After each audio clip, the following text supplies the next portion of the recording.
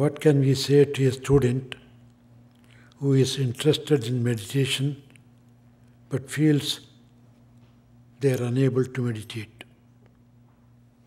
In one case, a person said their mind races too much. Another felt she would get dizzy.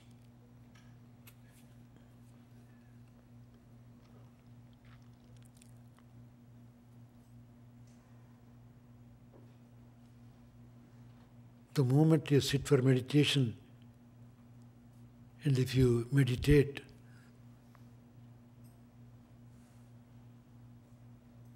then you don't need meditation. Hmm?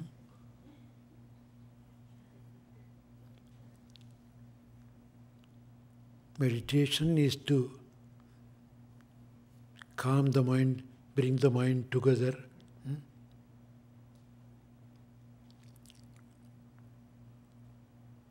If you are already restful, peaceful, why do you need meditation? Meditation is a sort of medication. Who needs medication? Only when you feel sick. Hmm? The same way, when you feel the disturbance in the mind, then you try to calm down the mind.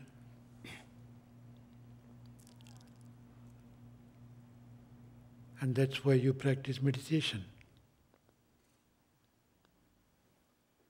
So, don't get huh, disappointed that you couldn't meditate right away. Nothing is achieved overnight. When did you run to walk or uh, learn to walk or run? From the beginning? No. When you were a baby, you couldn't even stand up, you could, couldn't even crawl. Then you gradually, gradually learn to walk and learn to run. So meditation also is like that. That's why meditation comes after concentration. According to Patanjali, dharana and dhyana. Dharana means mind runs here and there. You bring it back to the point of meditation. Again, it will run the other direction, bring it back. The constant struggle. Running mind, bring it back. Running mind, bring it back. and then slowly, slowly, slowly, you get used to keep in one place, meditate.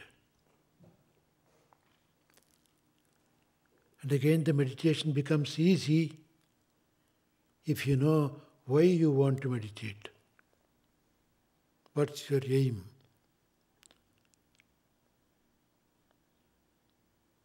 Because you feel tired huh, of running around, huh? you feel huh, unhappy with your restless mind. So you learn to meditate. That means you should get tired of running around.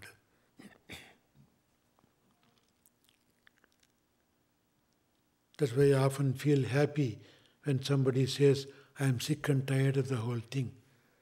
hmm?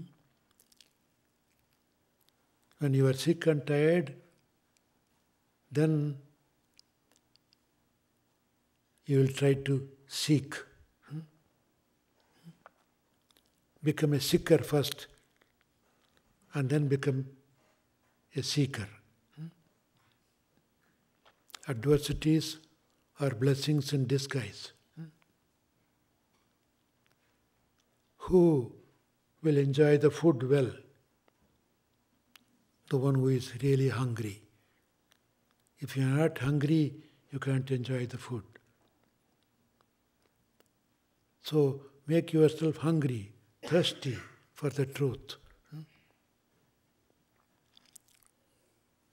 If you do yourself don't make the nature, the world will make you hungry.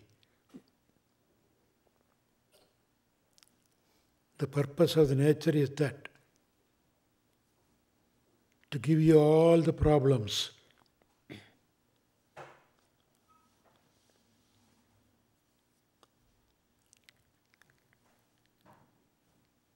That's why the nature never makes you happy. It always creates problem.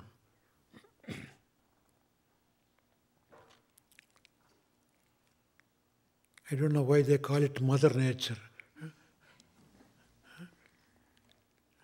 Mother seems to be giving a lot of problem. Why? Because you forgot the father, you are running only to the mother. Mother Nature says, I can't make you happy always. Hmm? Temporarily, yes, for a little while you can ha- be happy with your possessions, with your name, with your fame, hmm? with your wealth. But they cannot make you happy always. That's what the Mother Nature says. When you run to the mother for the happiness, they say, Honey, I can't make you always happy. Hmm? You want permanent happiness? Go to the Father. Hmm?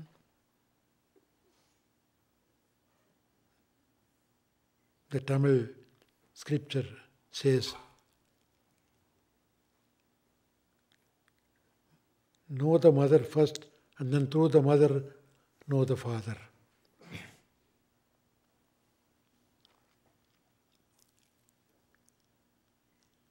Really true. Who knows the father well?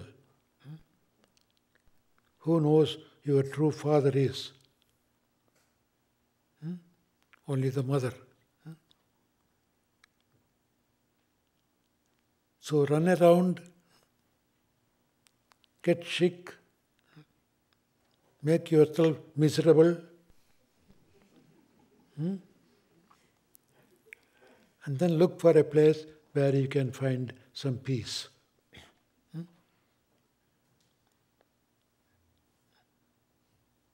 So that is the nature's way.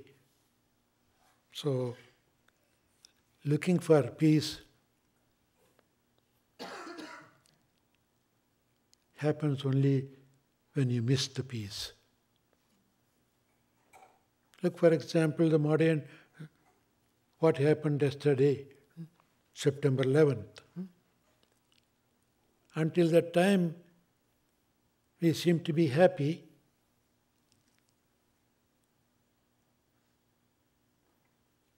But God created a problem to find the real happiness.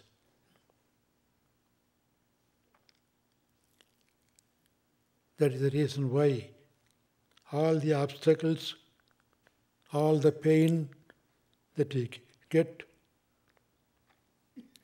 is helpful to find the final gain. So don't get disappointed huh, that you couldn't meditate right away. keep doing, keep doing, keep doing. Create an interest in meditation. when would you create the interest? When you are tired of all other things. When you love it, then it becomes natural. Ask the mind, why are you running here and there? The mind will say, I love that. Hmm? The mind runs to what it likes, what it loves more. If you can develop a, good liking towards meditation, then the mind won't run here and there. create a loving relationship in your meditation.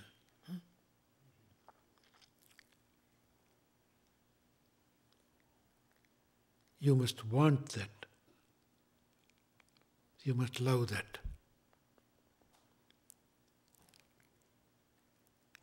Once Ramakrishna Paramahamsa was approached by a young man. He asked, How can I make myself fit to know God?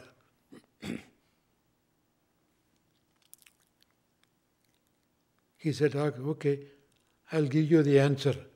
Let's go and have a bath. So he took the boy to the Ganges both went a little deeper into the river. Then all of a sudden, he put the hand on his head and pushed him under the water and held him under the water. He was wrestling. He didn't leave him. And at a point, he thought it is enough. He took the hand off. He. Then he said, My son, what were you thinking when you were under the water? Were you thinking of your business? Thinking of going to the movie? Thinking of eating something nice food? My God, how can I think all that? I wanted a little breath, a little air. That's all I needed. Oh, suppose I had given you some food under the water. Who wants all that? I want only the breath. Okay. If you create a want like that to know God, you will certainly know God. So the want must be there. Huh? Not for the fun. Oh, I am also meditating. Sit there, meditate. Where will the mind meditate? Upon a nice movie, nice other things you like more. So develop that keen thirst to meditate. If you don't develop it yourself, the nature will help you to develop that. Hmm? It's almost like you should get burnt well. Suppose you hold the cup of water. Why did you put this hot? Huh? It's too hot. Shall I drop it? Huh? It's too hot. Shall I drop it?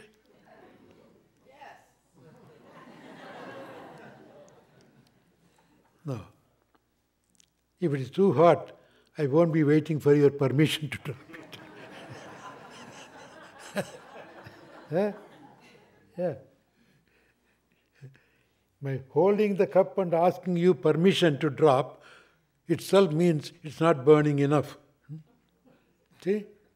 If it burnt enough, I won't wait for your permission. The same way, if you get really burnt well, you don't have to need, you don't need an invitation to come for meditation. Hmm? So get burnt well. Hmm?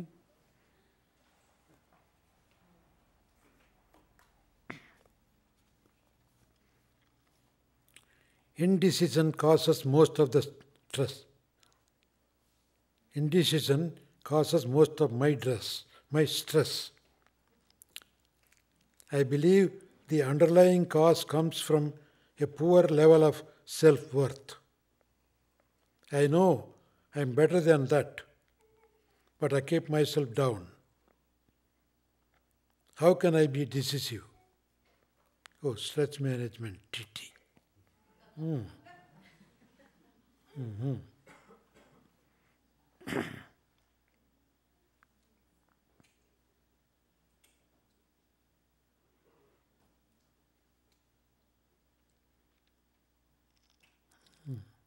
I believe the underlying cause comes from the poor level of self worth.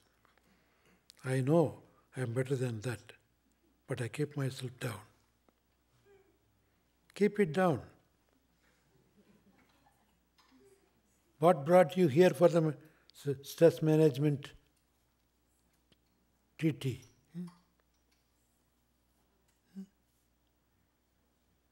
So what, what made you to come for the program?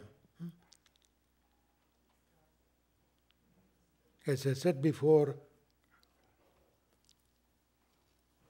you had problems, you couldn't handle it, you get stressed. Then you came to the program to manage.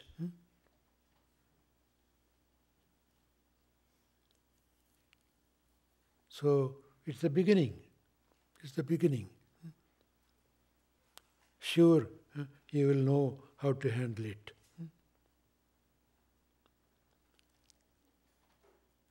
Keep up that program.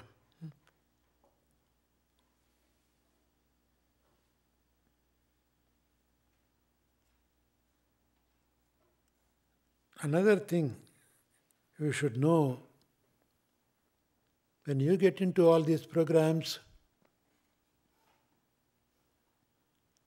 you are indirectly trying to bring your own dirty mind, monkey mind, under your control.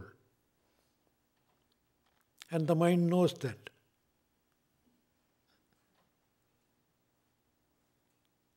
So if, it, if the mind allows you to continue the program, one day you will have control, good control over your mind. The mind doesn't want it. The mind wants to control you. So it's a, it's a fight between you and your mind. The mind says, I am the boss. You say, No, I want to be the boss. So the mind will put all the obstacles in your practices. All kinds of excuses, reasons not to do this. It's all your mind's trick. So don't give up. Keep up that good work. Certainly, one day you will achieve the goal. And when you, ach- you achieve the goal, you'll be very happy, very proud of it also. Sometimes people ask me, why can't this God who created me eh, keep me always happy and peaceful? Well, that's what God wanted to do.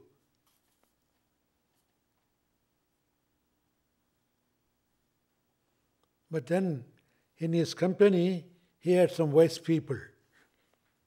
I mean, God's company. So one of the wise person got up and said, God, don't make them happy always. If you make them happy, they won't even relish it. They won't enjoy it. Let them earn it.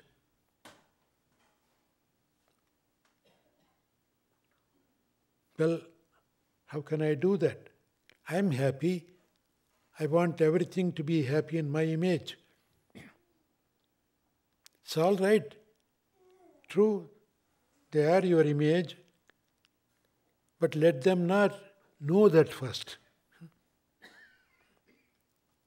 Keep that a secret. Hide it from them. Oh, where can I hide the happiness? Shall I bury it under the ground? No, no, he will explore that one day. Shall I put it under the sea? He has made big submarines to go under the ground, under the sea. How about somewhere in the sky? He has big planes here. He will find wherever you put, he will locate, he will find it easily. So, which is the best place to put? One place he never sees, at least for now. Where is it? Put it in his own heart. He won't see it first. He will always see outside. Because our senses are created to see things outside, to hear from outside, see from outside, smell from outside. He won't turn inside. So let him run around searching for that. One time, when he get tired of all that, he will try to look within. At that time, when he realizes, he'll relish it much because he t- worked hard to get the happiness, he got it, he will enjoy it. That is the reason our peace, our joy is inside first.